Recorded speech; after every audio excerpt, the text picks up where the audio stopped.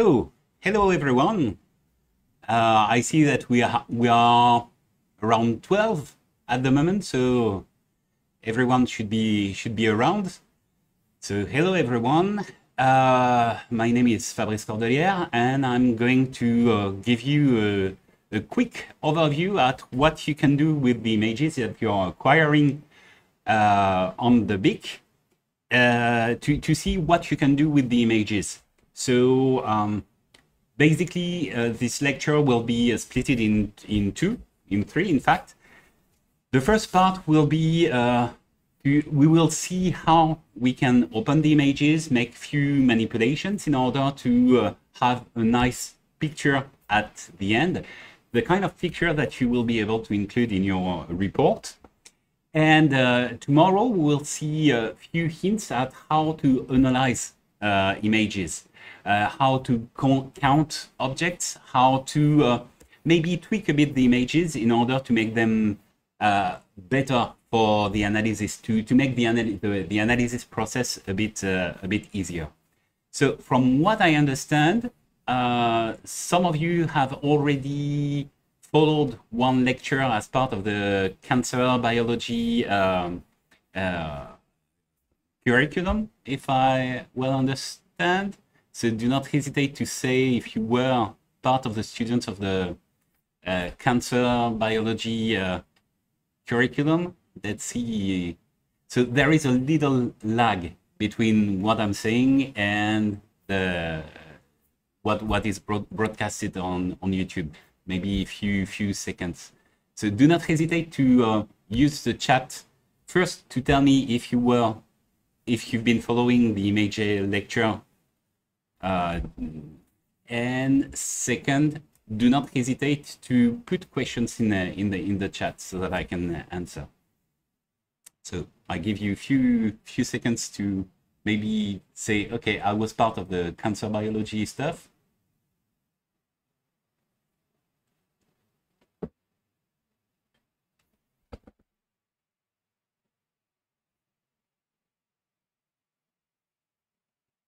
Are not part of the concern. Okay. Okay. Okay. Anyway, if uh, you want to, for people in the physics uh, track, if you want to have a look at what we did as part of the other module, do not hesitate to, to go. There is a uh, there is a, a video on on, uh, on my uh, channel. Okay. Okay, so there will be part of an overlap with what we did, but you will see this is not at all the same, the, the, the, the lecture is not organized the same way. So, first of all, the thing we will, uh, we will do is we will try to think a bit about what an image is, because overall, we, we will be uh, working on images. So the first step is surely to know what an image is. Okay, and so instead of playing with uh, some kind of fancy software to do some drawings live, I did prefer to go back to the analogical stuff. So you see pen, paper. So first of all, um, an image is just a way to uh, capture and present a scene. So the scene might be, uh, let's say, a tree, and you will see that I'm quite good at drawing. Uh, it might be sun, etc. So this is real life. This is your scene. And what you will do, you will use a detector in order to, um, to, to sample this scene. Sampling will be done in two ways first way spatially. So instead of having all, all possible little things on the scene, you will make some blocks. And depending on the size of the blocks, of course, you won't have exactly the same resolution on your, on your image. And of course, uh, I'm pretty sure that people on the on the BIC have been uh, explaining you about the Shannon-Nyquist theory that allows you to really make uh, the expected resolution of your uh, of your system fit with the resolution you will you will get on the image. So first you will do the sampling in space. And then the thing you will do for each of the elements, for each of the sample, you will quantify quantify something which could be the amount of light or or maybe the amount of light but for a certain wavelength. And so selecting the wavelengths is something that you will do using filters for instance. Uh, whereas here you you don't make any any particular selection. But anyway you will do a second type of sampling a sampling that is related to uh, intensities. At the end in fact each element of your image or pixel for picture element will have three coordinates which are its position in x, in y, and a certain intensity. Okay. When dealing with the intensity, um, of course, you won't be able to replicate the, all the intensities that you would find in a natural thin or in um, in in a in a microscopy uh, view. So what you will have to do is quantify that relative to a certain scale. Um, basically, oh, let's imagine that I draw a line across this part of the scene and plot along the line the real intensity, you would have you would surely have something like that where all the possible values are, are, are available. But unfortunately, as we are we we expect to work with a computer, uh, all the values can't be replicated on the image. So you will have to quantify relative to a scale. Uh, this scale will have a maximum and a minimum. And we are, uh, due to the, to the way the intensities are encoded by the computer, the maximum will always be a power of 2. So it can be, the maximum could be 2 to the power of 8, 2 to the power of 16, and there are other additional scales that are available.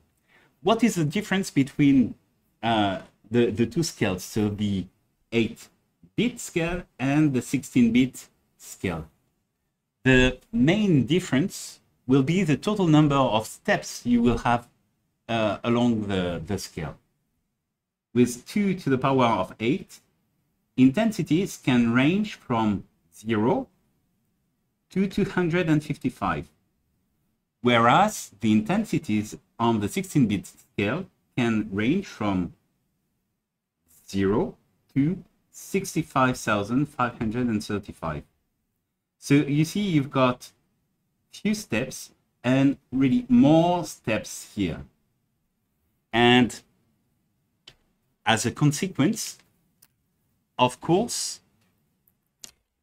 um, the quantitation that you will do won't be exactly the same from one, uh, depending on which type of scales you're using. If you're using an 8-bit scale and you've got this part, this intensity, this intensity is closer to the first step in 8-bit. This this intensity is closer to that one, that one to the max, etc. And so if I draw it roughly, what you will get is,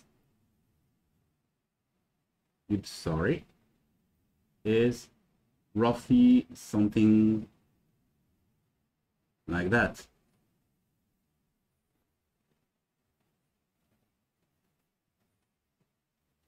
I hope you can see it well on the video. So with, with a certain scale that has not that many levels, you will have a rough um, um, estimation of the intensities, a, a rough um, overview of, of your uh, a rough uh, quantitation of your intensities. Whereas if you have many scales, you will be able to go more into into details, make higher differences between all the possible uh, of your possible intensities of your capture in intensities.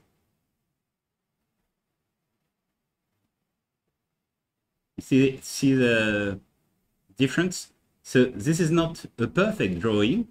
This is just to give you an idea about what you will get at the end of uh, when taking the picture. So of course, if you have a signal that is, let's say, in reality, something like this, this, this, and that, you would rather go for an 8-bit scale, which will be enough for what you want to do. If, to the contrary, if you have subtle differences that you want to document. Therefore, you would need to use rather a 16-bit scale in order to not to lose all the, the possible uh, tiny differences that you may you may have on your on your microscopy scene. Do we have questions so far? I let you maybe five seconds.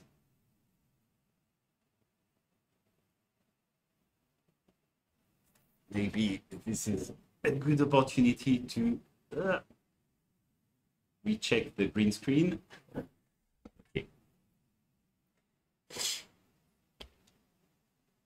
Okay. No question so far. So an image is a double quantitation, a double, so, sorry, a double sampling you will make blocks in space and for for okay thanks for the comment um, you will have blocks in space and once you have blocks in space you will quantitate the signal relative to a scale you will have to choose between 8 bits and 16 bits of course, when I've got tiny details like when I have rough details like that, of course, this could fit in a 16-bit scale. The main issue will be it will take more space on your hard disk drive without giving you more information. So uh, there is, if you're unsure, just go for the biggest scale. But well, if you know precisely that you don't have many details about your image in terms of intensities, just go for the one that will not uh, fill your hard disk drive. Okay, once the image is acquired, the thing you need to do is to store the image. And to do that, you will use a file format. And I will tell you a bit about file format.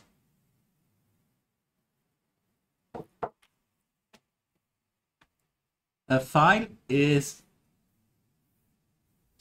is simply a container where you will put your data. And then, of course, if you've got a container and you want to uh, review the data and uh, uh, be able to, uh, to, to, to use it, you must make some decisions about how to organize the container. And in general, when talking about images, the file, the container is organized in two parts. One part that is called metadata, and one part that will contain the image information. In metadata, you will store all the things that are related to, uh, let's say, uh, the size of your image. This could be part of the metadata. The sampling. Uh, this could be um, the scale. So one pixel equals how many micrometers. This, this is part of the metadata.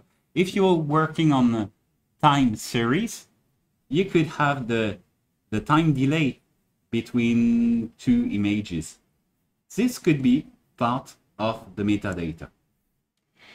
Then on the image part, you could simply, knowing that you've got the size in the metadata, you could simply store all the intensities uh, in one row. So one, two, one, three, four, etc.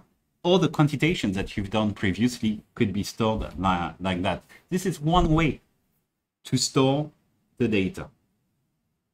Well, if I take some kind of sequence, and especially when working with fluorescent, fluorescent images, what you will see is you've got a lot of zeros, which corresponds to background, or a similar value that is higher than zero, but which is almost a constant. Then you may have a bit of signal.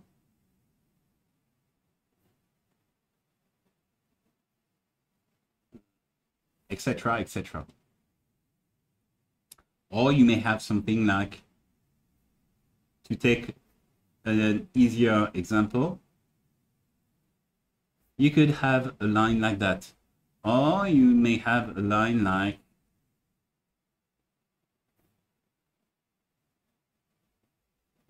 like that. Well, you see that having a lot of black in, in the image, uh, you will have to encode in this part of the image, in the, in the image block of your container, you will have to write a lot of values that are similar. So one way to, to tweak the way you store the data is to use compression. Uh, so you will use compression, and after that, you will have to use, uh, when you want to read the image, decompression.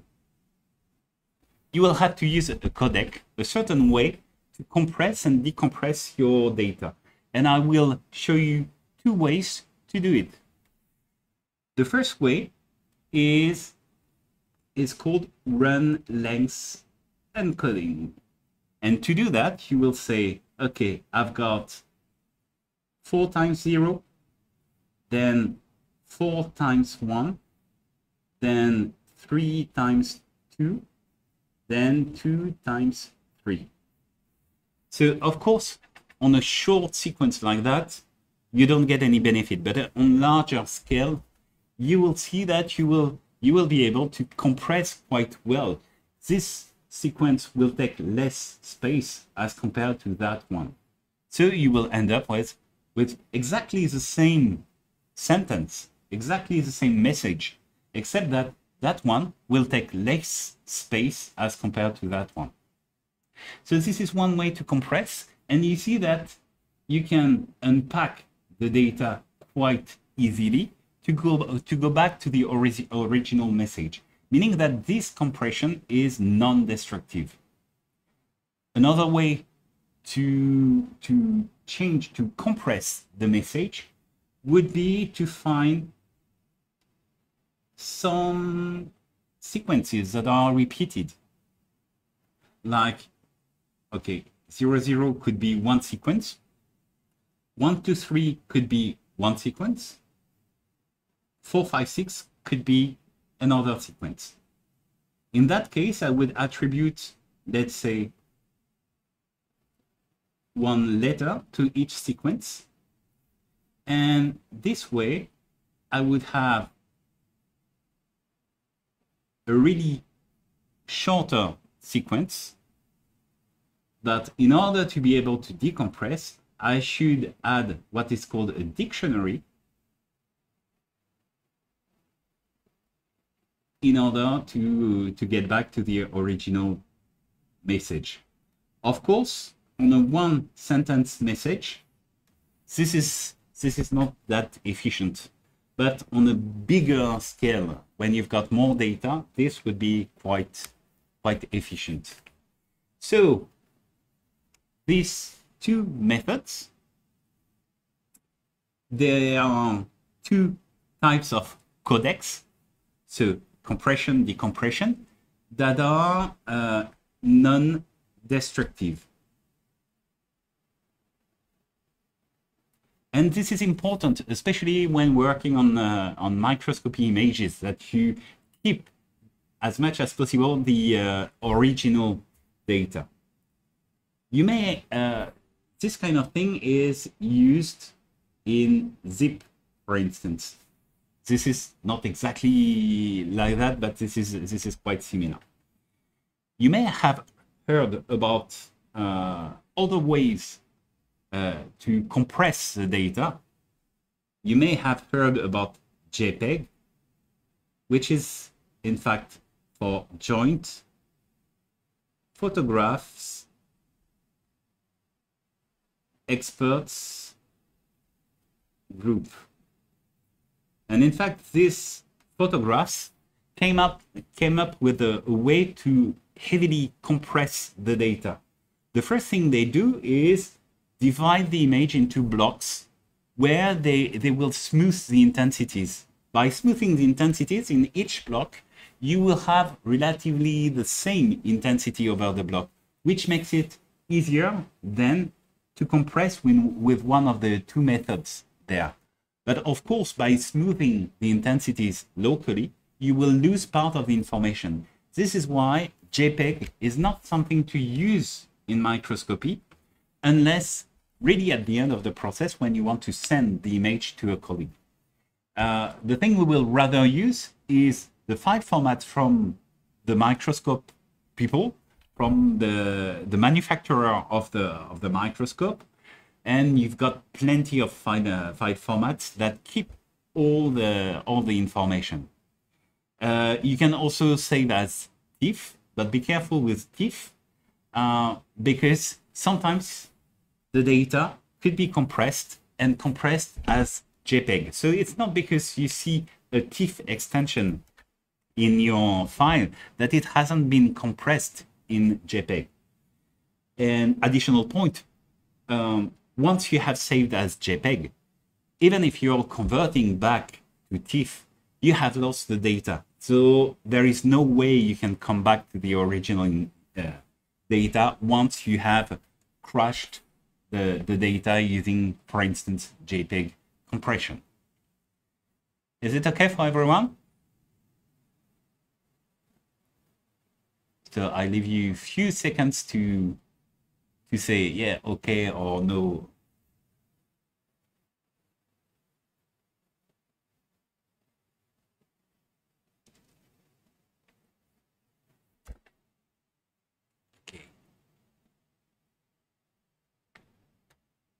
Uh, so the question is, what did you mean by sampling in metadata? uh, well, sampling in the metadata is more, uh, I shouldn't have put this like that, but resolution.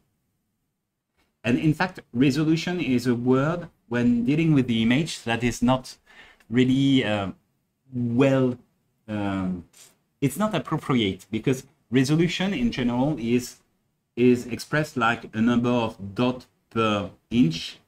This is the expected um, resolution at which you're supposed to print the image by putting 72 dots per inch. So of course, uh, okay, well, let's say that this is your image and it's expected to be printed at 72 dots per inch.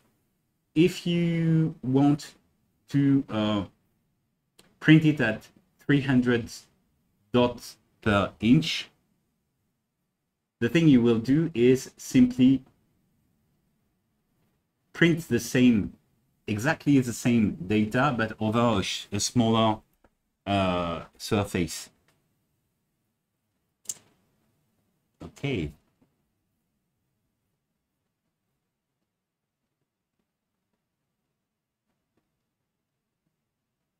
Okay, so nice question. So um, when working with dictionary uh, for very long messages, does the library not risk taking up the space we want? Uh, I could do it that way. Okay. So uh, for long messages, does the library not risk taking up the space we want to save? Yes, yes, this this is a risk, especially if you've got noisy data. This is a this is a high risk. But if you've got something that is uh, with low noise, low background, low uh, low variability, and repetitive motifs, this may work. This is typically what is uh, used when you deal with the GIF file format. That is especially well done for, for the web and so on. Uh, to be honest, for microscopy, well, uh, rather use zip than directly this, this kind of stuff where really the, the way the dictionary is optimized to shorten everything. Okay. Do you have additional questions?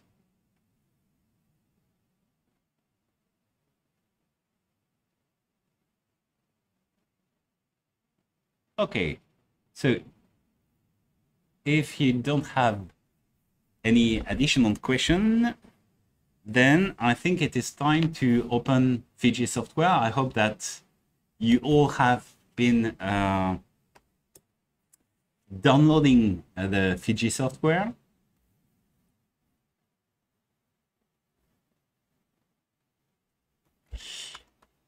We will start it.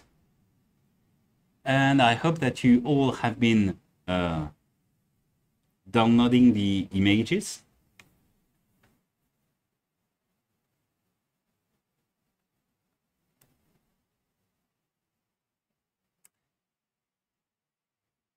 So uh, from time to time, your Fiji will ask you if you want to update it. So depending on uh, if you've got time or not, this could be worth clicking on OK.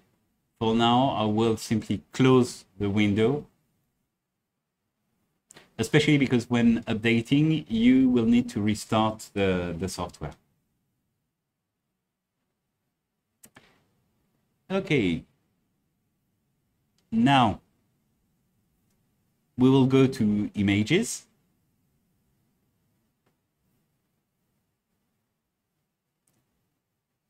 You will have plenty of, uh, of images in there. And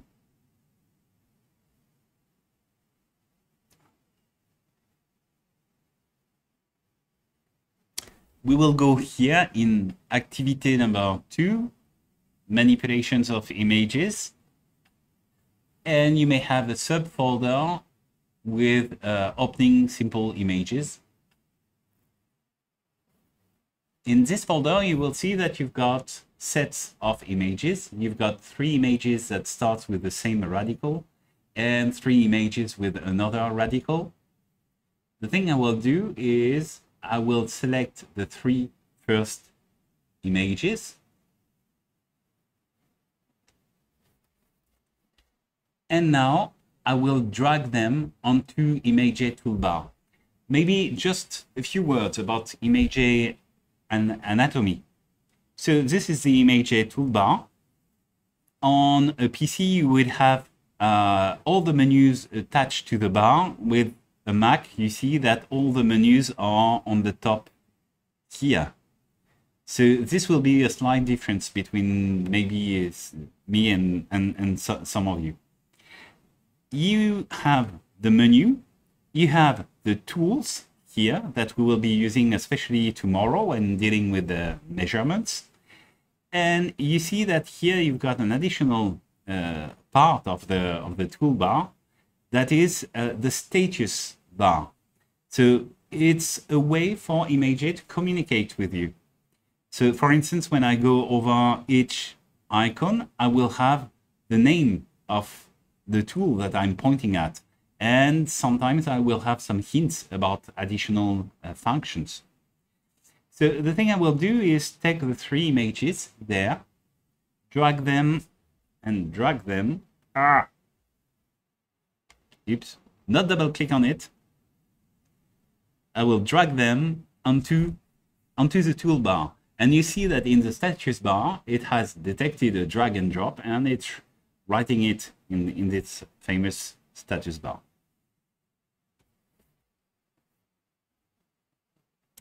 Okay, so now I've got three images and as you can see, my screen is quite, uh, is, a, is a bit small. So the three images have been opened, but I can't see them because they are one on top of the other. And there is one trick which consists in get, going to window and tile. And by doing that, it will automatically adapt the zoom and dispose of the images side by side, which it did.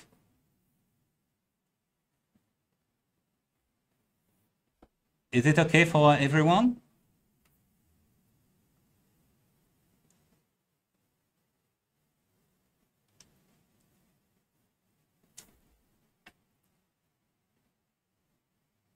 Okay. So if you look at one image, you have a status bar as well for each single image. In this status bar, you will have the size in pixels for your image. Then here you have the depth of your image, so on which type of scale you've been working. So here, the, the expected maximum intensity, maximum possible intensity, will be 65,535. And you have here the size of your image, of the imprint of your image in the computer's memory. Uh, I told you, and if I go back, yeah, I told you that in fact, each picture element, each pixel has three coordinates, x, y, and the intensity. And if I go back here on one image, and if I look at what's going on in the status bar here, when I go over the image, I will see that indeed I've got three coordinates. So the x, the y, and the value the intensity.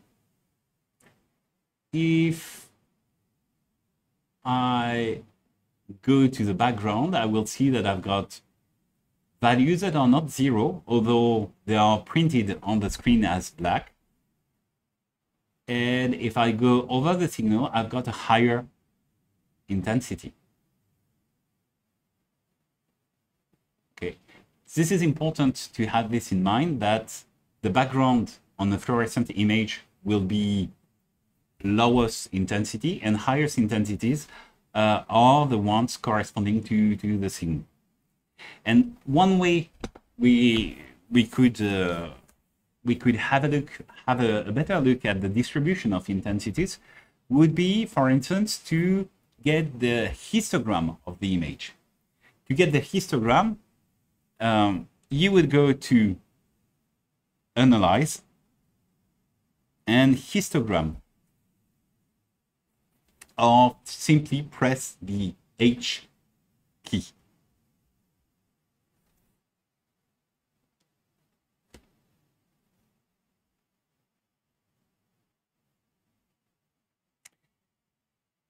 So, what is a histogram? A histogram is simply getting uh, the minimum and all possible intensities over this image, the minimum, the maximum, all possible intensities, and for each possible intensity over the image, counting the number of pixels carrying this intensity. This in Y is the number of pixels carrying a certain intensities. And here I've got the range, the possible, the, the full range of intensities that I've got on, on, on the image. I see a big peak and then this bump, which tells me that for sure I've got two types of population of populations over the image. I've got the low intensities pixels and I've got a bit higher intensity uh, pixels.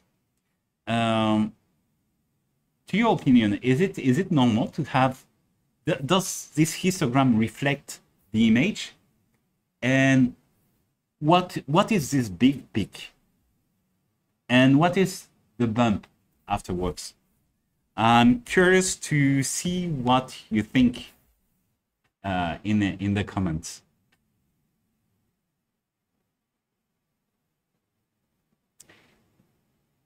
So I definitely should add a bit of music in this kind of time because we've got roughly between 5 and 10 seconds lag between you and me. The big peak represents the amount of pixel that consists, constitutes the background. Yeah. And then the bump.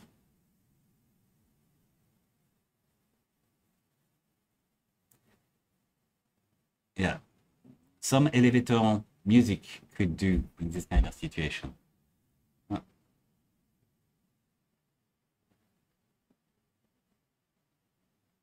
Okay. The bump are the uh, bright, brighter pixels. True. And you know what? even if we are at the step where we are dealing with the display of the images, we will do a bit of uh, analysis.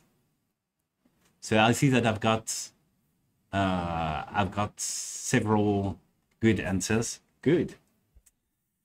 Okay. There is one thing on this histogram window that is quite useful. This is a live mode. Just press live so that the button becomes red. you see that it doesn't make any difference about the histogram except from this button that became red. Now you can uh, use the rectangular tool and this rectangular tool I could draw a big rectangle over the image. I've made a selection over the image and now the histogram is the histogram only of that precise selection all the little uh, uh, squares, white squares here are handles that allow me to resize the, the, the, the selection. If I want to move the selection, I've got to click inside the selection. You see, outside I've got a cross, inside I've got the arrow. And if I press and move, I move the selection. And you see that the histogram is updating accordingly. So now, the thing I could do to verify that the peak was indeed background is make a small selection and put it over background. And indeed, I've got a peak, a low intensity peak. If I move over the cell, I've got not only one bump, but maybe several little bumps. But they, they, they were hidden by this big peak when I had the full picture uh, on the histogram. And the thing I could do is I could make the rectangle half half half on the background and half on the cell and you see that I get back the original shape that I had over the full image. And now the thing I can do is have a look at the histogram when I'm progressively sliding over the background. I see that there is the first peak and progressively going over the cell from the background. Here I see that I've got mainly the bump. So this is one way, one really simple way to identify what the different populations are over the, the image. Okay. Now, if you have a look, if you have a look at what's going on here, you see that you also have this gray scale there. This gray, gray scale, which depending on the content of your image, for instance, if I encompass this big bright spot, you see that this grayscale has changed and here I've got white uh, really well visible. So in fact what this grayscale tells me is that 433 intensity is represented as really dark. In between you've got grayscale and when you're going close to 200, 2205 as an intensity you get uh, it's displayed really, really bright.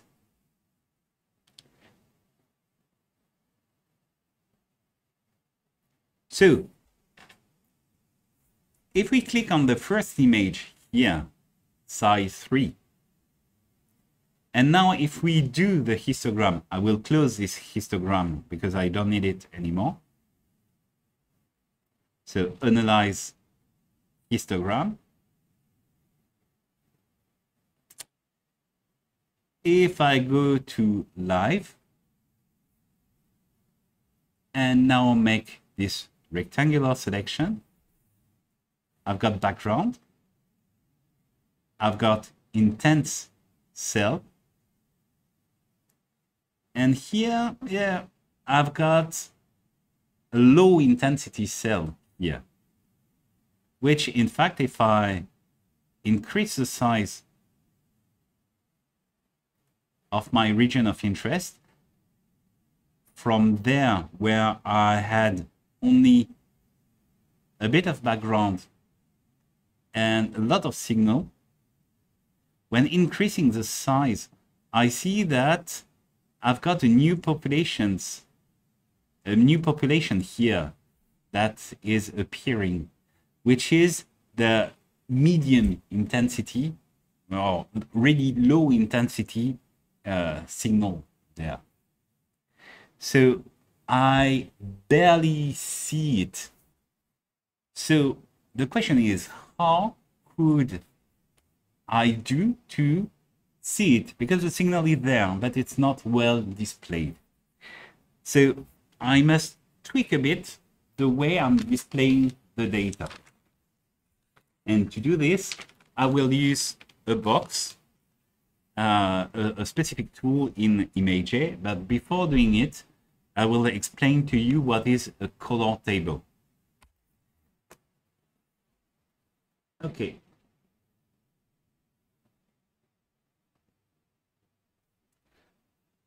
On an image, what you've got, you've got intensities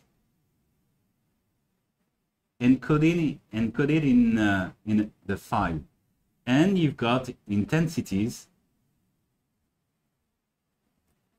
on display.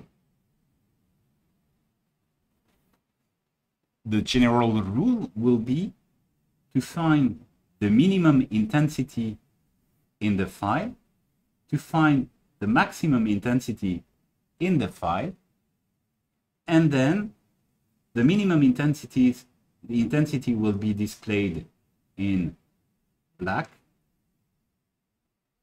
The maximum intensity will be displayed in white. And in between the two intensities, you will simply linearly distribute the intensities so that, for instance, the midpoint will end up displayed as mid-gray.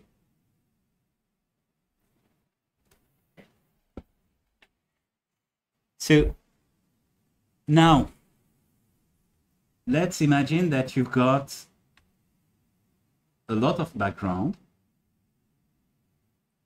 you've got a bit of signal and you've got a high intensity, a lot of pixels that have a high intensity.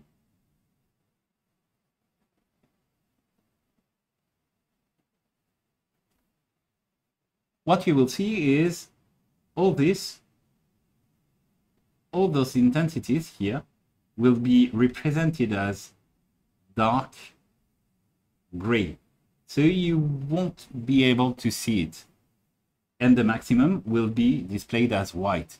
So you will see it. You will see it really well, but you will hide part of the information here. So one way to uh, to try to see what's going on on low intensity levels will be to try and redefine your maximum. This is the new maximum. If you define it as new maximum, then this is this value that will be displayed as white, meaning that this will will will be uh, displayed uh, in this first range between black and mid uh, gray. Of course, you can't go over white, meaning that all the values above will be displayed with the same intensity over the image, meaning white. Okay? So to do that, to play a bit with the display, we could go to image, adjust, brightness and contrast. And here you will see exactly the image, adjust brightness and contrast. On this box, you will see exactly what I've been drawing previously. In that box, you've got the range of intensities that are stored onto the image. You've got the histogram and you've got, let's say here, you've got your scale between the display between black and white here. And the line that describes how you spread, how do you distribute uh, the display depending on the intensity you've got, intensities you've got in the file.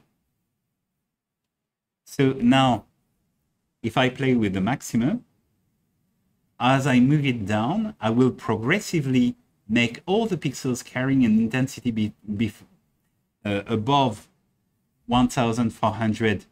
All those intensities will be presented as white over the image, which gives me a lot of saturation. But as I'm saturating the high intensity uh, pixels, I'm starting to see the two dim cells here and here. Can we see if we have a saturation with the histogram? Good. Good question. Can we see if we have saturation with the histogram? Yeah.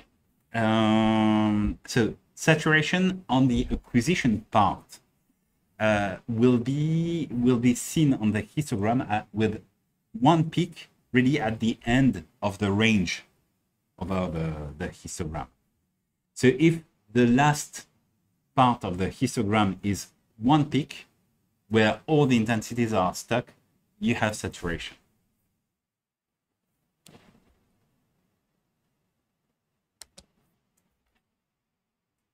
Okay, so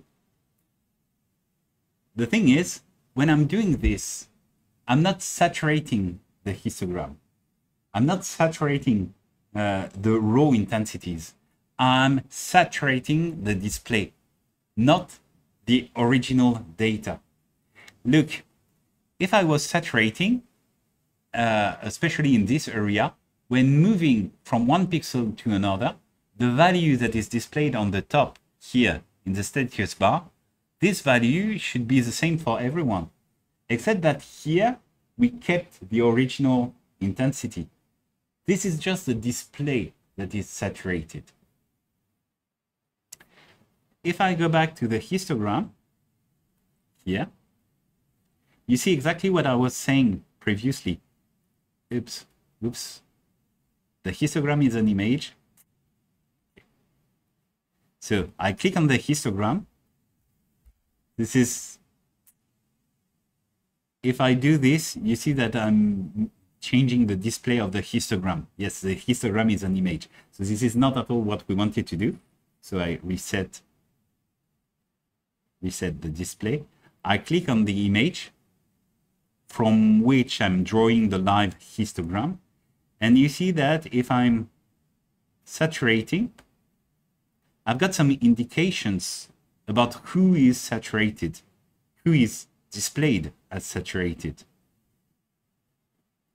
You see that if I do something like that, any pixels, pixel having an intensity above this will be displayed as white.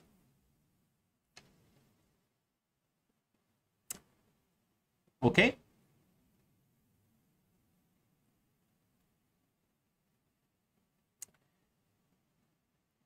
Good. So, ah, good. The problem is, on this specific image, uh, in a way, I've got three populations uh, of pixels. I've got background, I've got the low intensity cells, and I've got the high intensity cells. So by tweaking the maximum, or yeah, in, that case, the maximum, by tweaking it, I will be able to see, to display the low intensity cells, but it will have a price. This price is saturating totally the high intensity cells. This is due to the fact that I'm using a linear scale to redistribute the display uh, over the, the different intensities. So when I reach the limit, I will saturate some, some pixels. There are ways to enhance uh, in a different way the low intensity uh, the low intensity pixels as compared to the high intensity pixels. But in that case, instead of using a simple line to make the correspondence between intensities and display, I will need to use other uh, other shapes or other geometrical shapes. And I will show you one example uh, of that. Okay, back to the drawing. Maybe I will try with a, a different different color. So uh, to solve my problem of having background, low intensity, high intensity, and being able to see the three over the same uh, the same image, what I should do is I should instead of having this, okay, it won't work. Instead of having the low intensities over a short display range, I should try to have, let's say, a high intensity range. Okay, this displayed on a large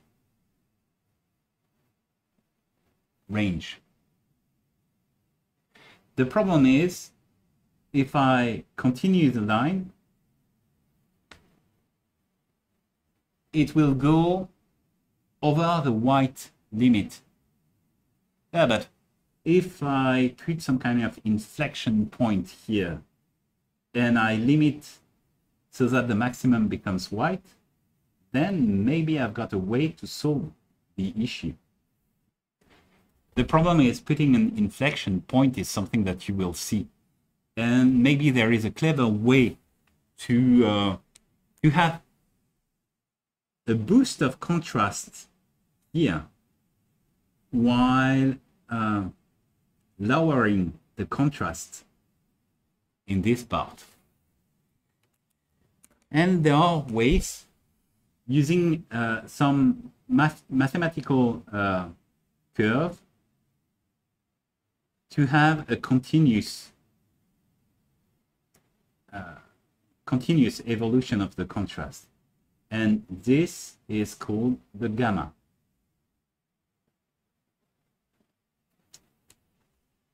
The problem with the gamma is to the to the opposite of the brightness contrast, which works only on the display, the gamma is working directly on the intensities. So maybe this, if we want to test it, the good thing would be to take one image, for instance, that one where we've got bright and dim intensities. We will make sure that we don't have any region of interest over the image by clicking outside of a region of interest if we've got one.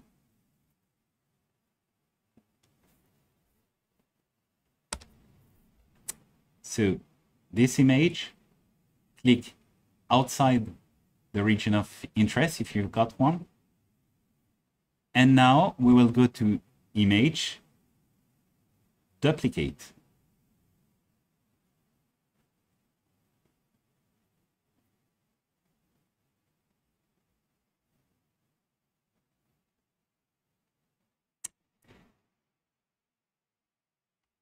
We could do a window tile in order to have all the images uh, well uh, assembled.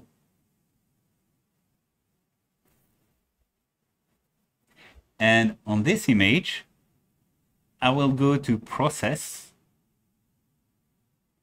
Math, and Gamma. And you see that uh, some of the functions have three dots. When you've got three dots, it means that uh, it won't directly apply the processing because it will require from you to enter some parameters. So gamma is one of those uh, functions. And the value is, in fact, the, the strength at which you want to increase the contrast in the low intensity level. Preview so you see with the with this value, or with the lower value, you will enhance the contrast here of the low intensity cells without having much saturation unless you already have saturation on the original image. In general, for microscopy images, we use 0.5. This is, a, this is fine if you use 1, 1 is just the flat line.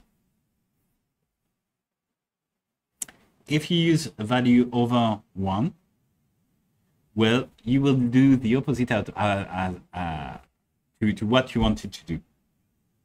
So 0.5. Of course, here, if I press OK, I will have lost the original intensities because I would have applied the mathematical uh, formula to the, the full image. So, this situation is for gamma below 1. The black line here would be gamma equals 1. And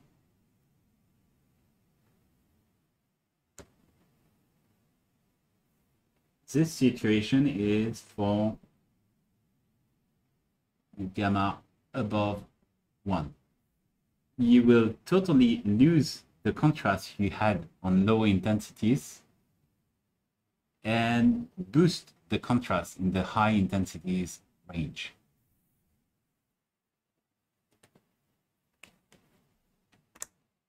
Okay.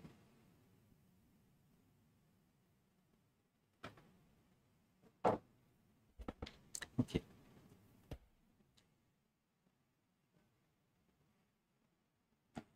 Okay.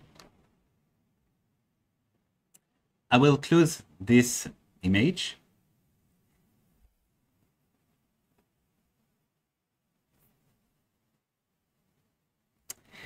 And now the thing I will do is I will uh, show you one additional thing. Uh,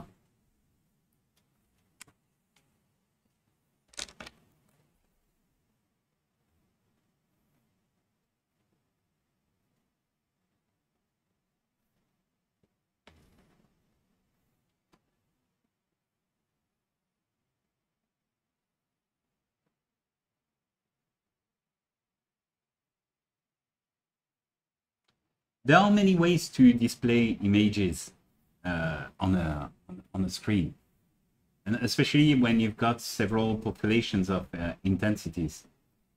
Uh, of course, you could use a grayscale. So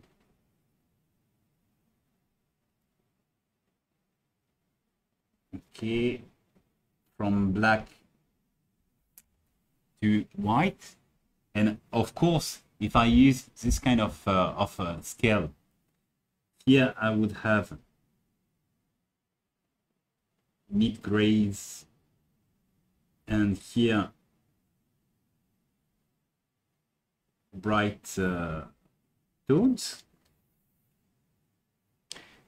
Maybe to be able to see this mid-range population, I will have to use tricks like the gamma transform in order to enhance the contrast and see it a bit brighter. But what about trying to, let's say, color code all the intensities? Well, hold on.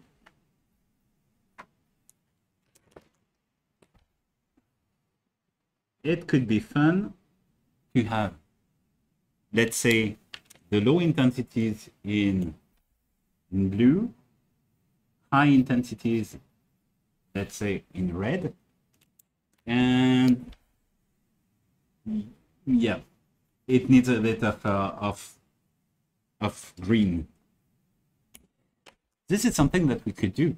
Instead of using this display range here, we could shape something that would be another LUT for look up table where I would split the range into three and have the three tones there.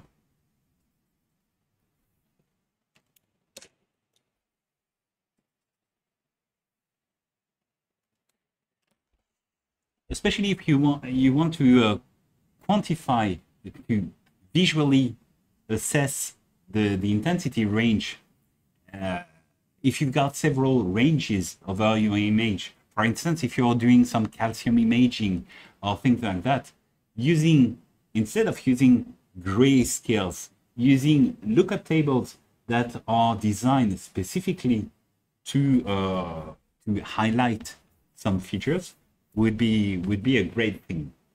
So the thing I propose is that we we try it on one of the images, on that image, the one that we've been working on previously with the with the gamma. So to do that, we will simply go to image, color,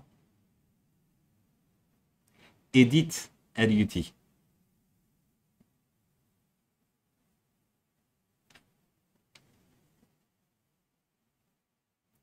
In here, the thing that you, you've got is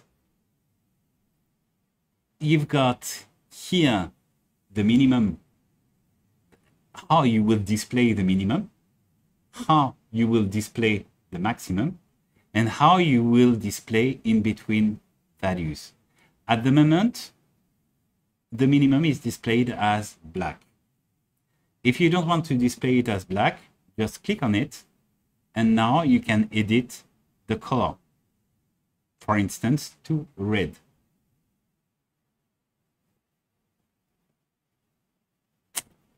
You could do the same for white. Instead of having white for saturation, you may want, let's say, to have green.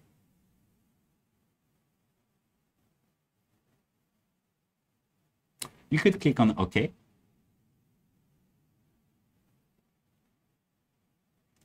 And now if you go back to brightness and contrast, if you change the maximum, as you're saturating, you see that all the pixels saturated will appear as green. All the pixels that are thresholded, so below the minimum, below or equal to the minimum, will become red.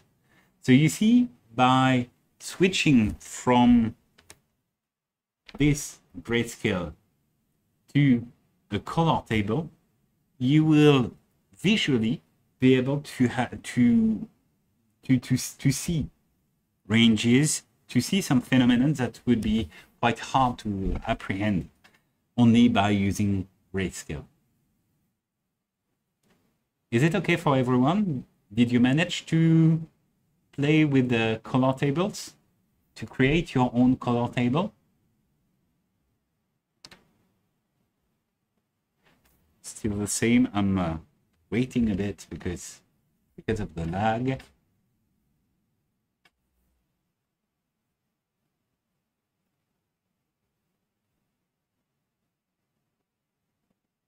So to answer your question, Josephine, you see that by using an appropriate color table, you're able, in addition to inspecting the histogram, you're able to see directly on the image where you've got saturation.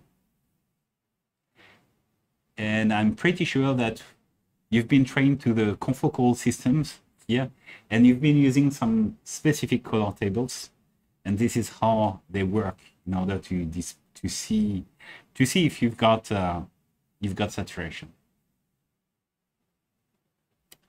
Okay, so it seems okay at least over the three answers that I got. So back here. So you remember that I was proposing this color table. Okay, so, but before that, I see that I've got a, I've got a question. So, what did I do after after I did edit lookup table? The thing that I did is simply use a brightness and contrast box in order to redefine what, what is my minimum displayed value and what is the maximum displayed value. Any value below the minimum will be displayed as black, or in my case, as I've been changing the way the first value is displayed, it will be displayed as red. And any value above the maximum will be displayed as previously white, except that I've been changing this display to green. And you see now all the saturated pixels all the pixels where the display is saturated.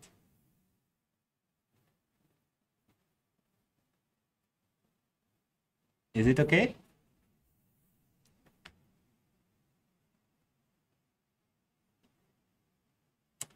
If I press on reset, then I see it's replacing the values by the minimum value within the file and the maximum value within the file. And I don't have uh, saturation. Now, the thing I could do is go back to image, color, edit LUT. And I could use the set button.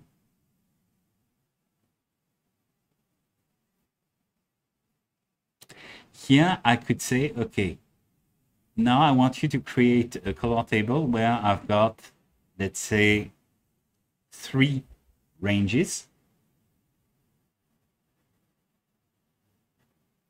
Where on each range, the, uh, the color is replicated.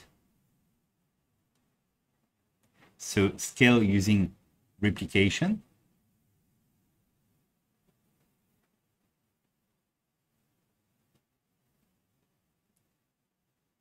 I click on OK. And now I click on the first color, which will be blue. The second color will be green. And the last color will be red.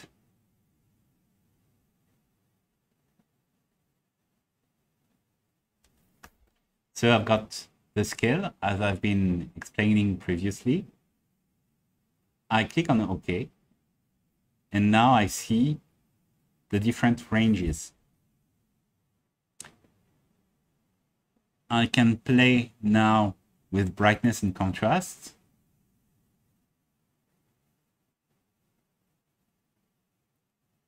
And I will see the three ranges. So the background, the low intensity cells, and the high intensity cells.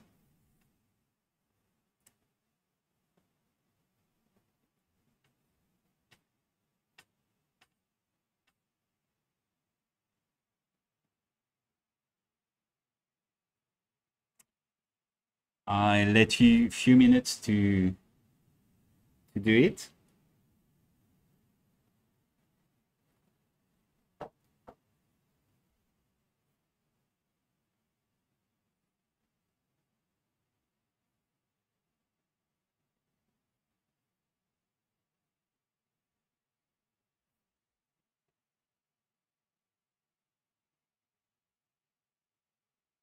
Okay, now, if we want to go back to the original data,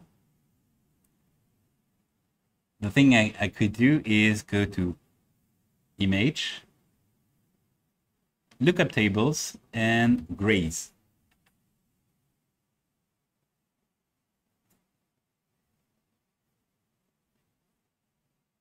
So from what you see here, the all the images are quite similar. This is normal because these are exactly the same cells, except that I've got different labelings over each image.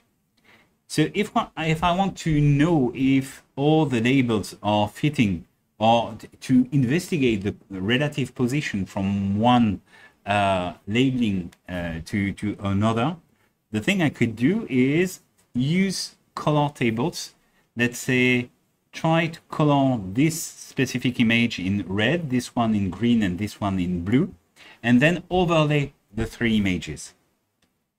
To color an image in in uh, in let's say in uh, in shades of blue of or of green in that case, the thing I could do is go back to image, color, edit LUT.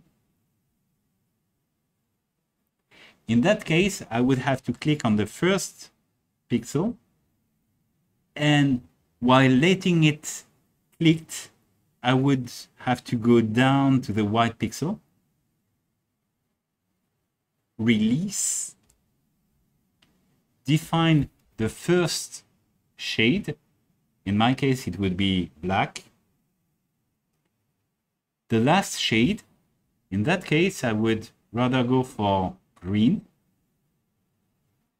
And you see that it would do a gradient from black to green.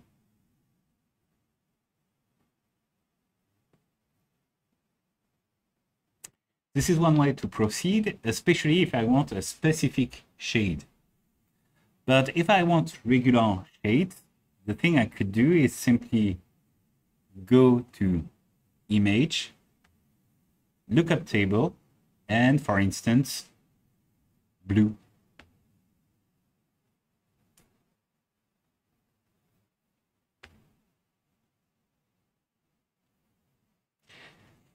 Now, if I want to overlay all the images,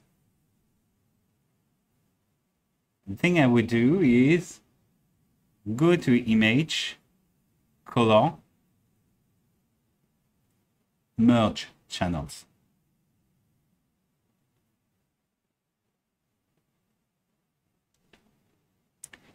Here, I would first click Create Composite.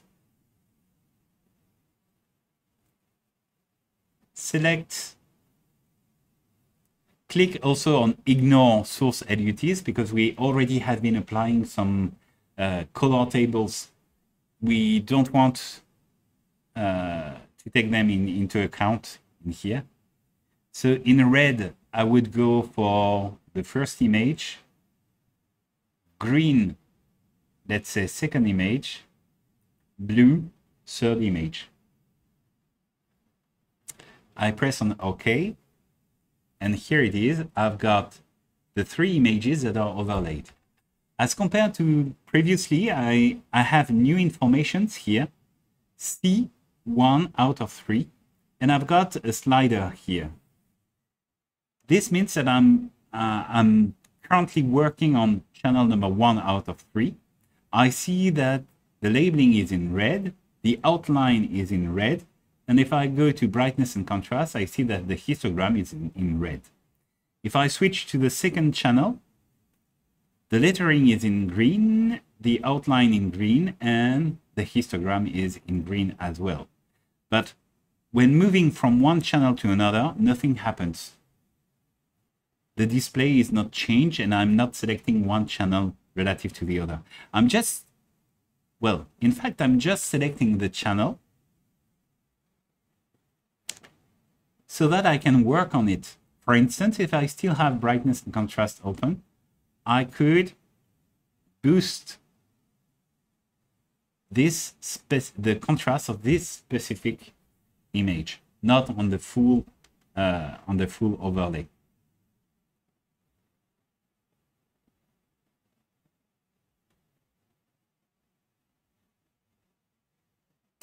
Is it okay for everyone?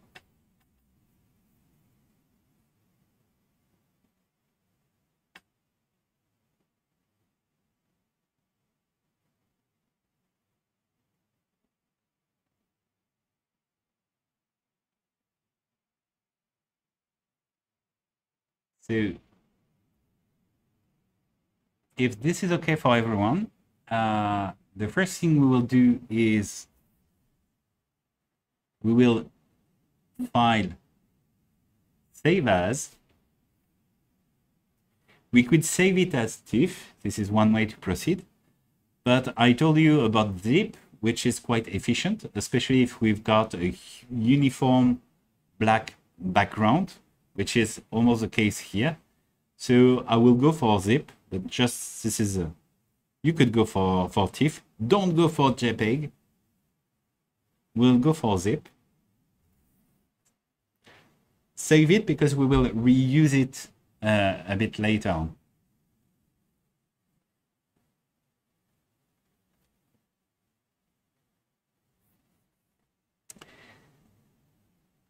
So what you've got here with three channels where this container where you can navigate from one channel to another is called a composite.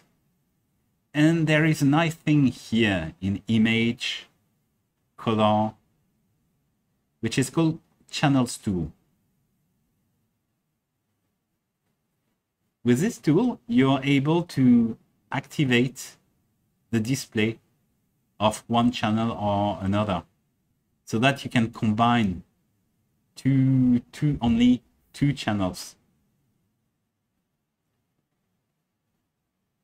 If you've got doubt about how they are, the cells are labeled and so on, this is a good way to inspect the, the different channels. This is also good because you can change the lookup tables you've been using. For instance, especially if your colleagues are colorblind, you don't want to use red, green, and blue. You would rather use magenta, yellow, and cyan. And so if I want to switch from red to magenta, the only thing I've got to do is select the channel, go to more, and here I've got a restricted li list as compared to the big lookup table list that I, I displayed earlier and I can choose magenta.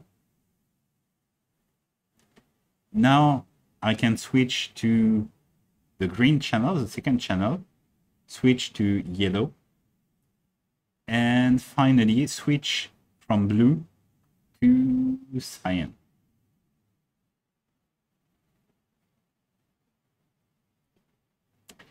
And of course, you see that depending on which color table you're using, the message does not look uh, always uh, the same. So, do we have questions so far?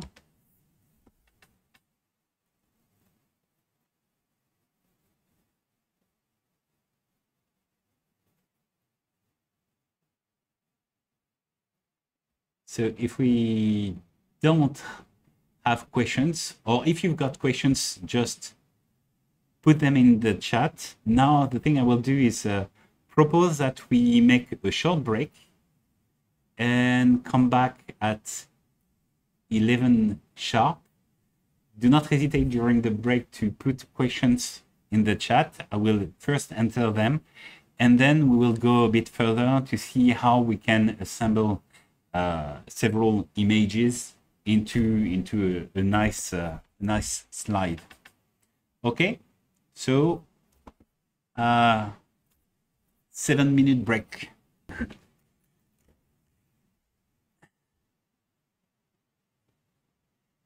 now, I see I see that we need a, a tiny little replay uh, for the previous uh, exercise. So,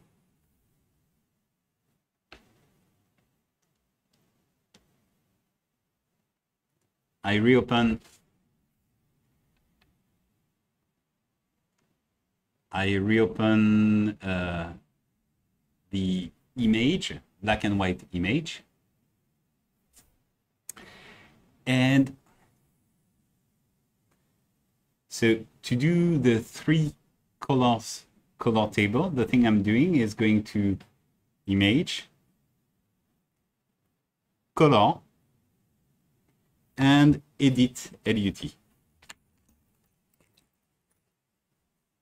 From there, I will press the set button and say that I've got three colors.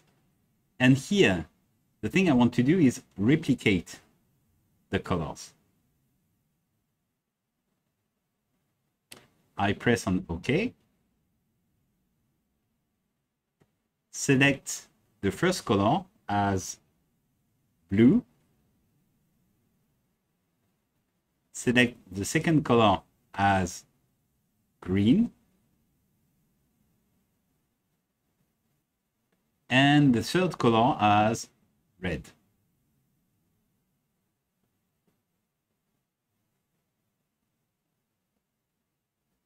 If I press on OK, then this is this is what I get. Now I need to use the brightness and contrast box in order to reset what I call maximum.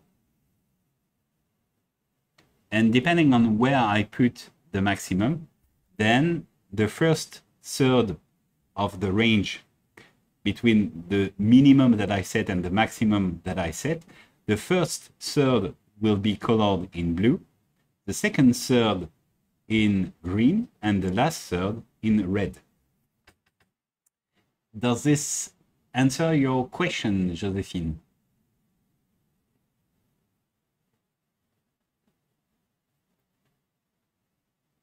If it's not doing what you precisely wanted,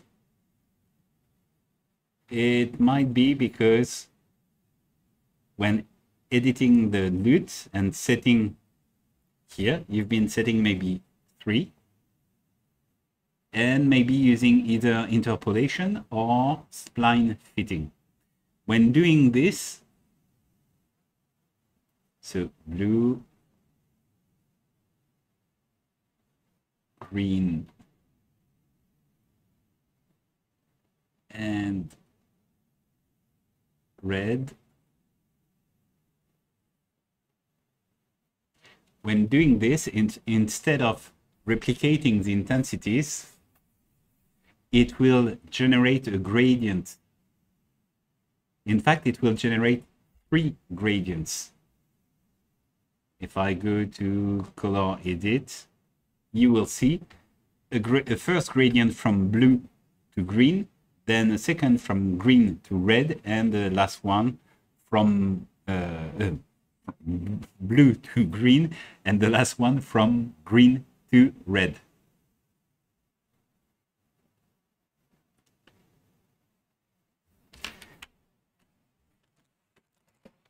So you see that depending on, on the way you set the display, in terms of simple gray levels, playing with the histogram, or in terms of colors, playing with the, the lookup tables, the same data might be displayed in different ways.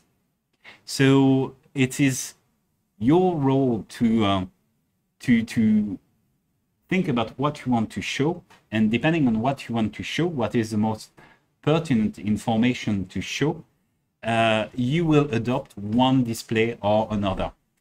Here, by using this kind of method, the thing you want to show is different ranges of intensities, and you want to make it easier for the reader to interpret the data. Here you see directly the three ranges of intensities of, uh, of interest. So uh, no intensity or background, low intensity and high intensities. And just by looking at it, it's quite easy to interpret if you compare to the uh, original data that I could get back by going to image, lookup table, and grays. If what is interesting for you is to see where you've got an overlap or where you've got, let's say, spatial relationship between signals, it might be worth going for this kind of display where you take the different channels, you you attribute to each channel a certain color table and you overlay the, the different channels. So what is the difference between LUT editor and RGB image? Hmm, good question. Okay, so question from Elise. Okay. So here, when you've got a composite image, you you have in fact a collection of three images, three grayscale images. You can tell by here the indication that this is a 16-bit uh, image, but to each for each uh, grayscale image, you have associated um, a color table. So meaning that everything is displayed in color. But the pure nature of the image is a black, a series of black and white images, plus uh, uh, this reference table that will convert the intensities into displayed colors. If I go to image, type, RGB color, the thing I will do on the composite is transform this image that is in color, that is displayed in color, in another type of image container. This image container is a color image. You see, now, although if I put them side by side, I can't, I can't really tell from their look who is who, I see that here I still have on the composite image 16-bit, whereas here I've got RGB. When I, I go over the image, if I look at the status bar from image A, I see that I've got three coordinates, in fact four, x, y, z, and the value. If I go on the other image, I see that I've got two, the xy coordinates, plus under the value, I've got three values. One for the red, one for the amount of green, the other one for the amount of blue. All the three values, you can go over all the pixels, you won't find any value that is higher than 255. In fact, an RGB image, a color image, is composed of three channels, each channel uh, being of a depth of 8 bits. So you've got the first channel that will automatically and always be uh, encoded in in red. This first channel will be in 8-bit, second channel in green, 8-bit, and third channel in blue, 8-bit. So you see that you have lost part of the information because now you've got one, one red, one green, and one blue channel, each one being in 8-bit. So there is an additional problem. And instead of um, instead of proposing an exercise, I will simply show the problem to you by creating a synthetic image. So don't do it, just have a look at what I'm doing. So new image. I'm creating a new image. Okay.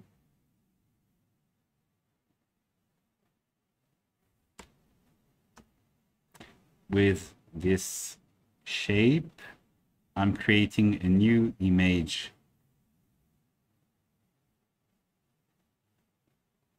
Oops.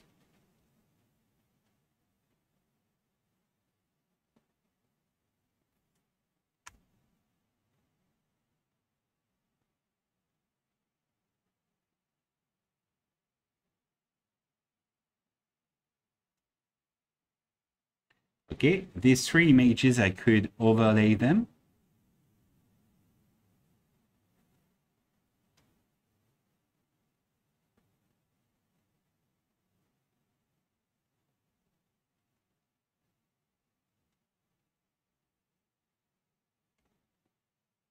So you see, I've got some cyan, some magenta, and some yellow. All is overlaid now I could transform this image in color into a color image.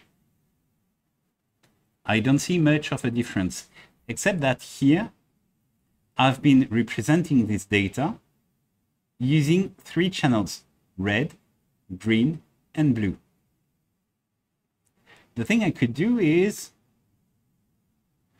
try here to separate the three channels, the red, the green, and the blue. And you see that it's not at all the same as previously. Red, the red channel is not only one circle, it's one, two circles. The green is not only one circle, it's the circle plus the square, etc. And this is due to the fact that to encode the cyan or to encode the magenta, the magenta is red and blue, equal amount of red and equal amount of blue. Uh, this one is equal amount of green and blue, etc., etc. So you see that to encode exactly the same message, using a referential where I've got only access to red, green, and blue, I should spread the information from here into two channels, into the blue channel and into the green channel. Whereas here, by using a composite, so an image in color, I keep the original nature of each channel. Does this answer your question?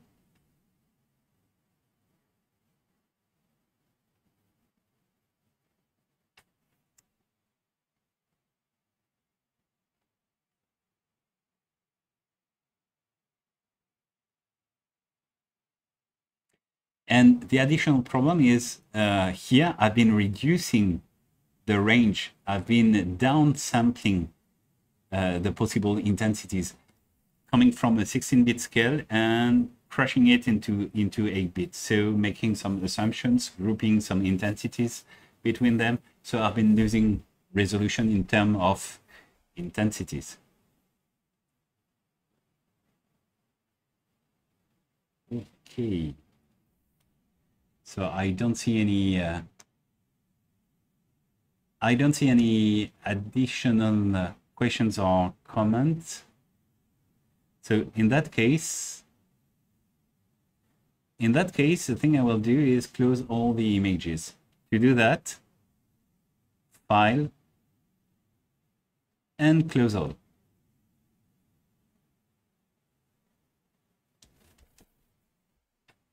Okay good. Now, now that we have seen all the things to tweak a bit the display of our images, uh, the thing I propose is from, from the image that we've been playing with, we will generate uh, a figure.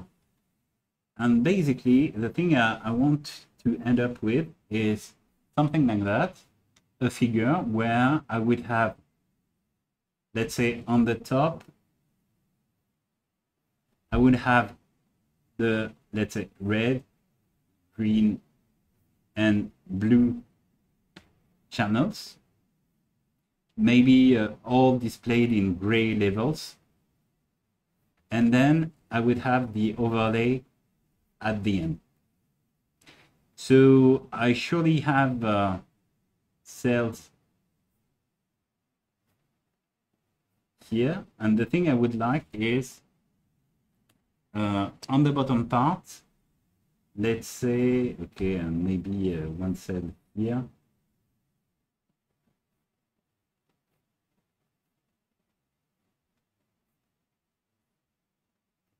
The thing I would like to have is take a region of interest only on one and display the overlay here. And same here, have an overlay of, let's say, a different part of the of the cell. Of course, the thing I want to have is lettering.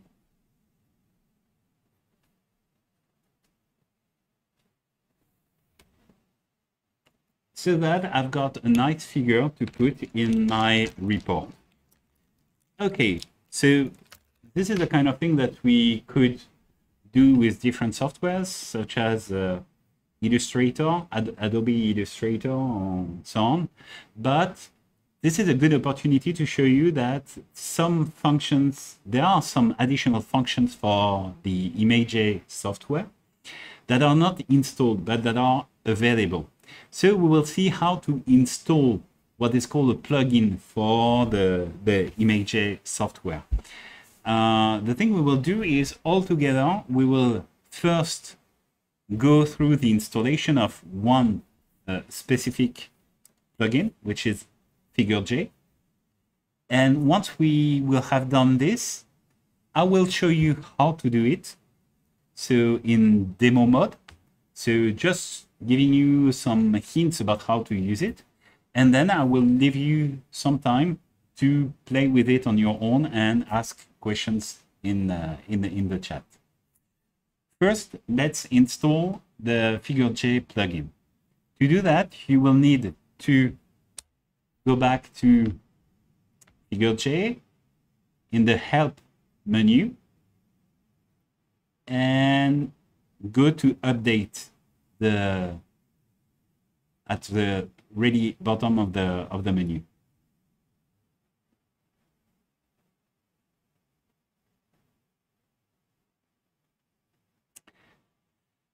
So it's always taking a bit of time, just checking that uh, everything is well up to date. And this is in the update that we will also be able to add additional functions.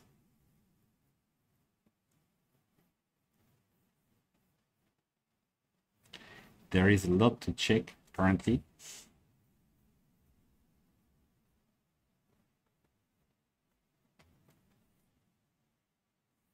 Okay.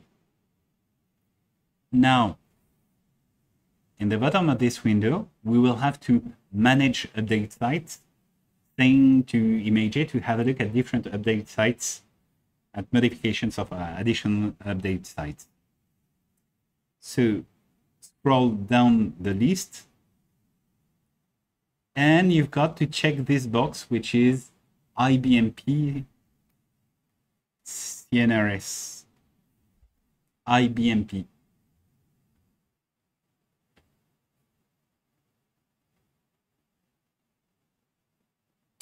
You will have also to find the image science line and to tick the box. So IBMP image science. Once it's done, you simply close this window and then you press the apply changes button on the previous window. On your side, you should see new stuff like like FigureJ and image science uh, within the, within this uh, this window. Press apply changes and it will download the required files and once it's done you can click on OK. You're invited to restart figure J so close it and restart it.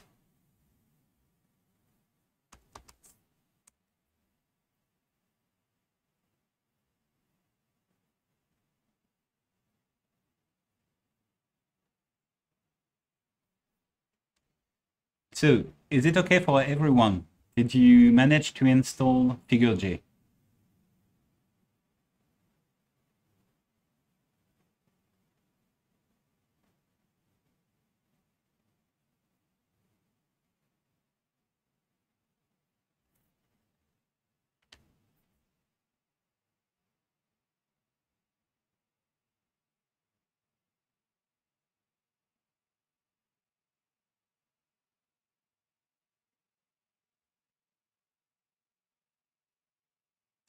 Okay.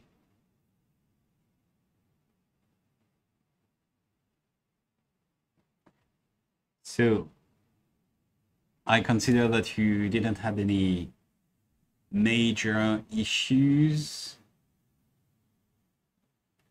So to check that you indeed have uh, FigureJ uh, installed, you would go to plugins and check if you've got this uh, FigureJ menu here.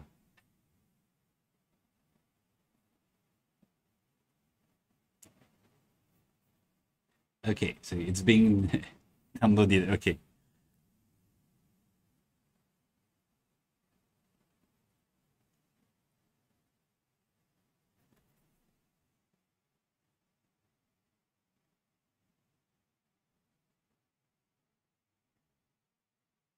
So waiting uh, still a bit. So as I told you, uh, just put the download aside, wait for it to, to complete. The thing I will show you is how to use FigureJ. So you don't have to follow along. Okay, so not yet, okay. So you, you just have to follow along this will uh, allow time for the download and, and so on. And just get a grasp at how, how it works. So I will start FigureJ by simply going to Plugins, FigureJ, and Start FigureJ. This will open this small little box where I've got some options that will be useful once we uh, uh, once we have a, a, template, a layout for our figure. So on the top, I will create a new figure and I can already set the final dimensions of my figure. So in my case, it will be 10 centimeters per 10 centimeters with a resolution of 300 dots per inch. I click on OK, and now I've got an empty layout. And as I was explaining earlier, this is what I want to, to get. So this is at that precise step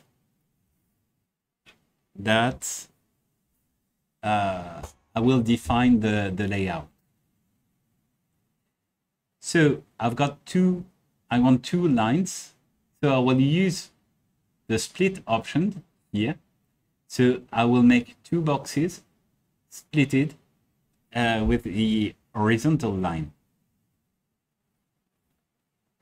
On the top, I wanted four, uh, four columns. So I select four and I split vertically. On the lower panel, which I click on to activate it, I will go to two and split. So I see that some of you have uh, problems installing, etc. Uh, first, the thing I will do is complete this demo, and then we will go back to uh, the installation process. So here, well, the thing I could do is reshape a bit to have something like that to be closer to what my plan was. Now, the now that I've got the layout, uh, I won't change anything in the layout because otherwise I will uh, totally kill my uh, my figure. Now the thing, uh, so you must think about the layout before adding images in the different parts of the, the, the layout. So now the thing I will do is click on the first box and I will import the image I want to include there. To do that, I click on the on the first and then I will uh, assign or reopen an image. And this is where I will point at the composite image I've been saving earlier. So I've got the image on which I have this selection uh, tool here. I can reshape the tool, but the global shape will always be uh, same as the on the, the, the box on the on the layout. I can use the handle here to tilt my selection, knowing that the blue line here corresponds to what will be on the top of the of the of the of the box in the final image.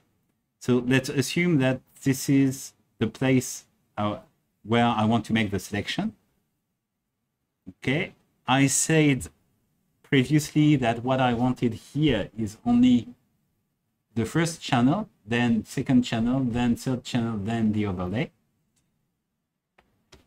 What I will need here is to modify the display so that I've got only one channel.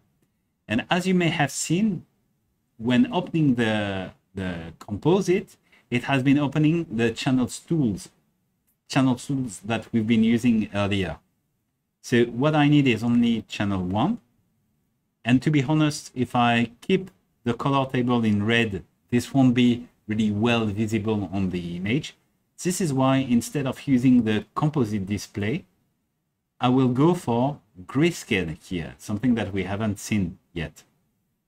But this allows me to display only one channel at a time, but in grayscale. So channel one, grayscale, I'm done. I'm clicking on OK here. It will automatically incorporate the, the snapshot into the figure. Now, I would like exactly the same position, exactly the same uh, selection in all the three other uh, boxes. So the thing I will do is click on the first box and I will copy but copy from the FigureJ toolbox. So copy, select the other uh, box, and now I will paste. Don't go for copying and pasting the regular way. You've got to use the buttons there. So you see that it will recall the box, the position of the box. I will only have to tweak a bit the display to be in grayscale and select channel 2. Now I click on OK and I will do exactly the same. So paste, grayscale, and channel number 3. here, select, paste. This way I want the overlay to be displayed in the last column. So composite and I activate the three channels. Okay. Now for the two bottom parts, if I paste, you see that the aspect ratio is not the same between the two boxes. So it will generate some issues. If I want to have uh, a different view, a zoomed view from the same image, unfortunately, the thing I will have to do is reopen the original image. So I will have to assign or reopen the image, select again the composite, and now play with the box. Let's say focusing here.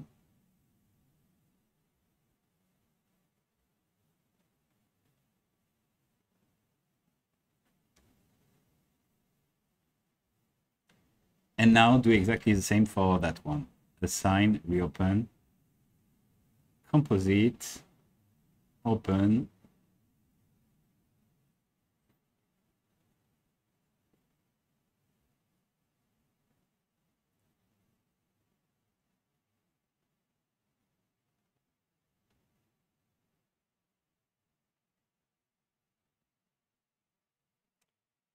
and that's it. Now, the only thing that I need to do is decorate this figure. So I will use the decorate button.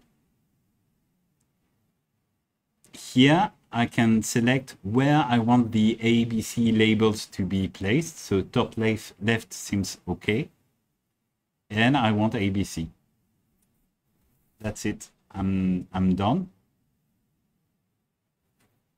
So unfortunately, I didn't thought about calibrating the image, but if your image is calibrated, you could here add a scale bar and show the value.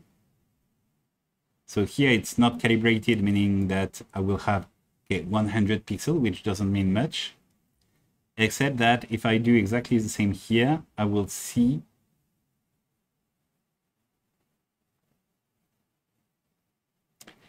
I will see that it makes the difference between the two. It has uh, in mind the difference of the difference of scale between the two zooms that I've been doing on uh, on the image.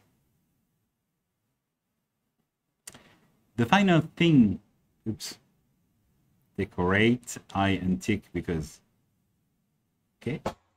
But with the images that you will be acquiring on the facility, everything will be calibrated already so you will just have to tick the scale bar and it will it will fit perfectly uh, with your, with your data. So the last thing to do once you have done the figure is to save it. So click on save here. It will uh, so on a Mac you don't have at least on my version of Fiji you don't have the indications on top, but it would ask for a folder in where to save the data. So I will save it on the desktop, create a new folder, which I will call figure, open it, and it will save a lot of things in this folder. Basically, in the folder, it will save the original data, the FigureJ file, which is the one you can reopen with FigureJ if you want to work on the image you will have the full resolution figure as a TIFF file uh, on which you can zoom quite well, quite heavily. This is really the full resolution. And you've got the JPEG compressed figure. And if you start zooming at it, at some point, you may end up with uh, the texture that you would find on any JPEG file small blocks of 8 by 8 or 16 by 16 pixels. Is it okay for the general principle? Okay, so now, oops, not that one, that one. Okay. So in the comment, can you show the way again? Okay, about installing. About installing, we went for oops, help and update.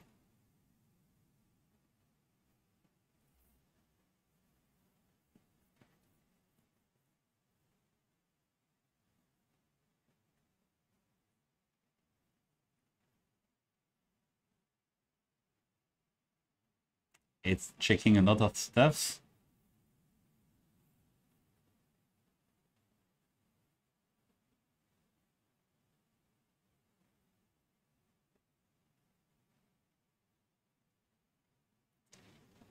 Okay.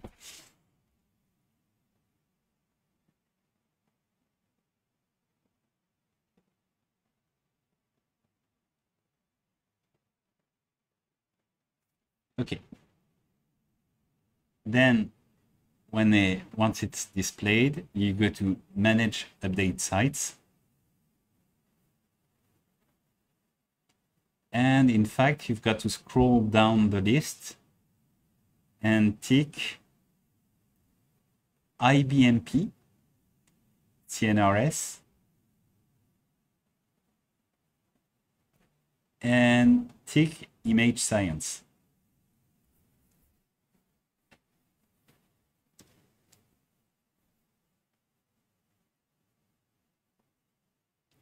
So once you've ticked the two, then you close this, this window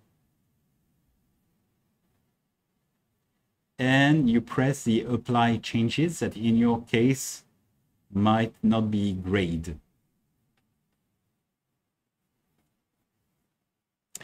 It will do all the downloading, etc., the installation work. Then you will have a pop-up window asking you to restart ImageJ. So you restart the software and you should be good to go. Is it okay for Elise?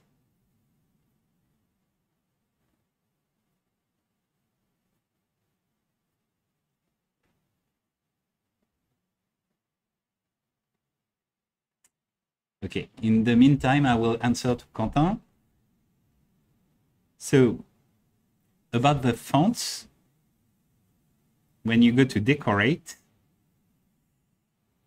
well, when you go to decorate, you don't have uh, in the new version, you don't have anymore the, the option, but I will show you how to, to do it. Uh, so you go to Edit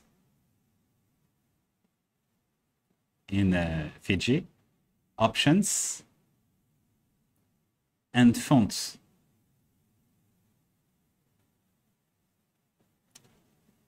So here I will go for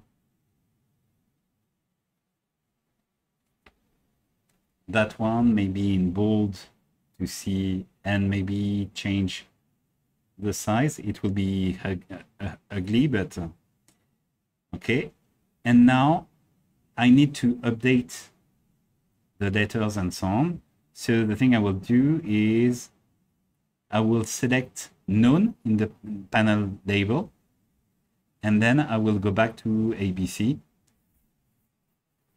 and this is done for the scale bar, okay, I will have this. And if I want specifically to update the scale bar, then the thing I need to do is select a different font, untick the show value, and retick show value. But be careful if you if you change again the labels, this is a new font that will be considered. So, okay, good. Good, good. So the thing I propose is um, I let you, let's say, 10 minutes to try to build a figure on your own. And uh, in, uh, in 10 minutes, in 10 minutes, uh, then I will uh, reactivate the chat and so on, see if you've got questions. And this way we will, we will end just right in time at uh, noon uh, with by the 10 last minutes of, of questions. Okay, so see you in 10 minutes. Have fun with uh, FigureJ.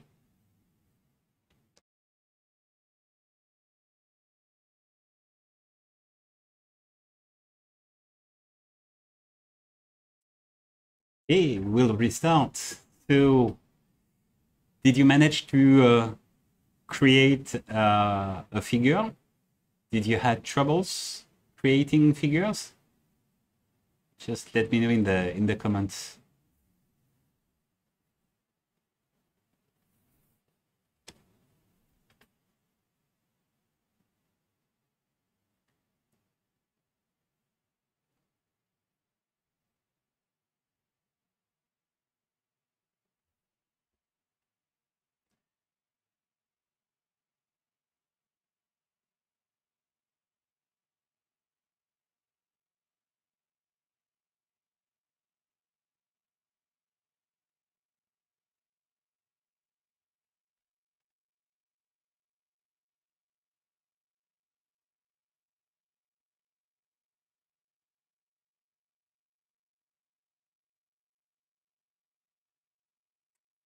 So, did if you manage to uh, to create the figure, just uh, say yes in the in the chat so that I I know. If you've got questions, uh, same. Just uh, just put them in into into the chat, and uh, so I've been told that some of you are living quite uh, a bit far away from uh, the spots where you will have the practicals. So this is why I've been asked to finish uh, at 12. So once, so the, the really last, we are in the really last 10 minutes of the of this uh, this lecture. And so I will answer your questions. And uh, once done, we will uh, have uh, this session uh, finished for, for today.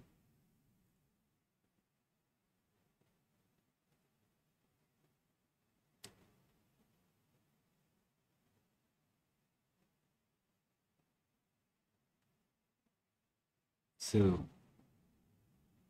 for the ones that are not commenting, uh, not putting uh, anything in the chat, did it work or, or not?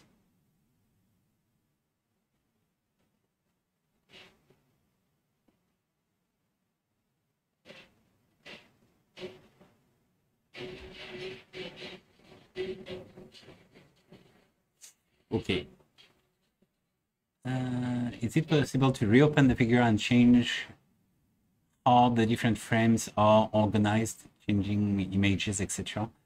Is it possible to draw a square to multiply the region of zoom? Okay. So, first question, is it possible to uh, reopen the figure, etc.?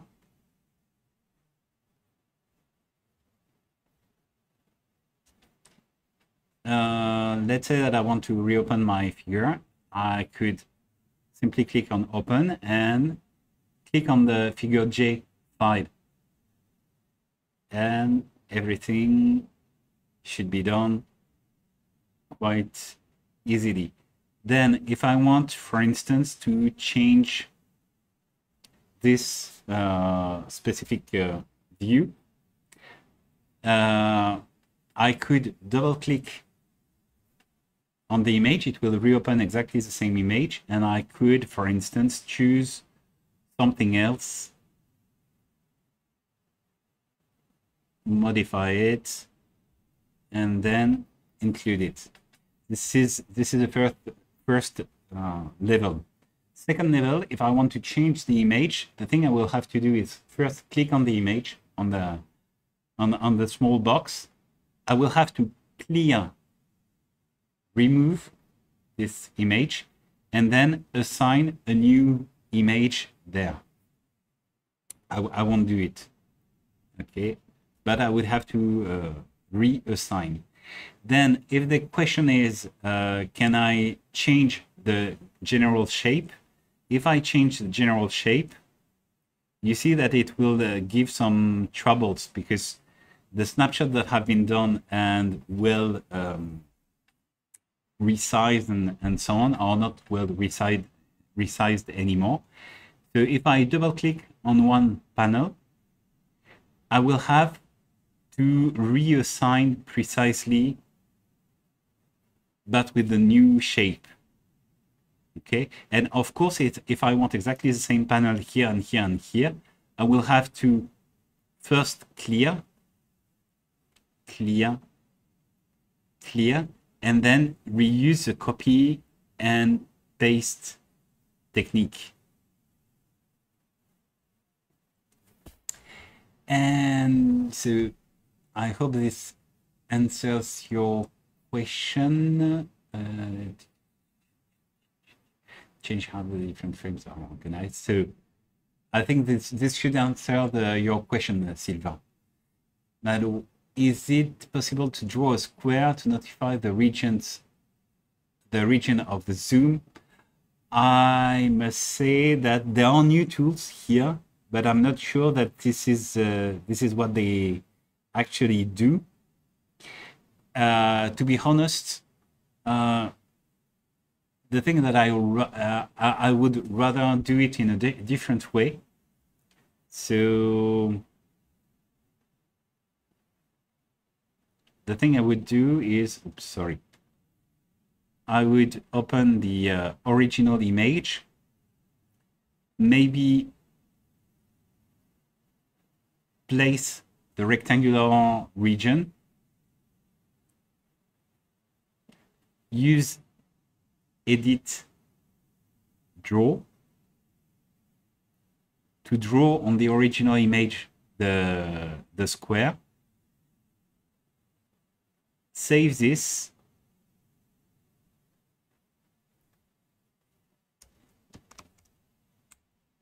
Oops. Sorry, I've been saving it in the, on the wrong place.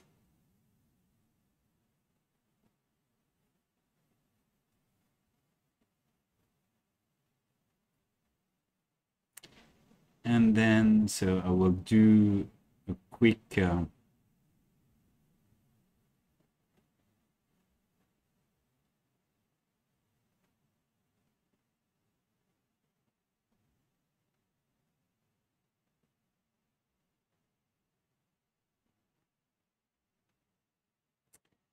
then the thing I would do is, of course, open the modified image.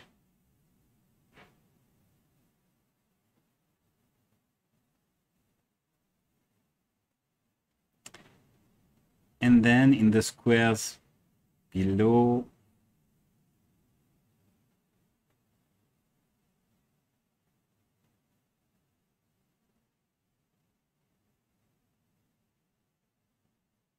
I will reopen the image. And now use, use the square that I've placed in order to target the region of interest.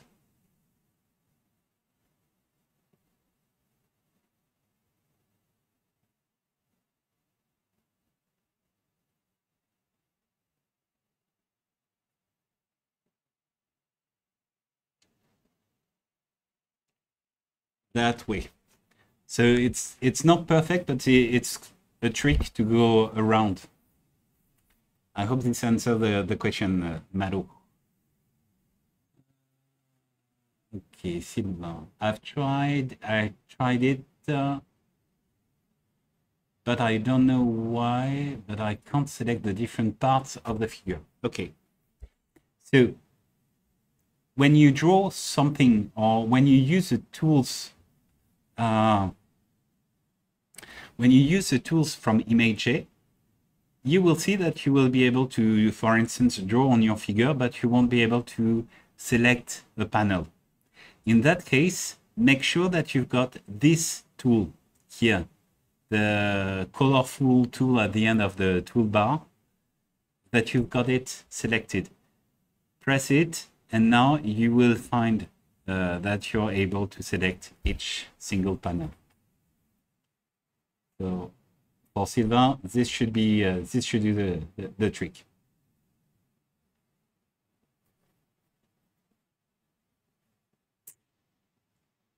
Okay, so last chance for a few questions, maybe?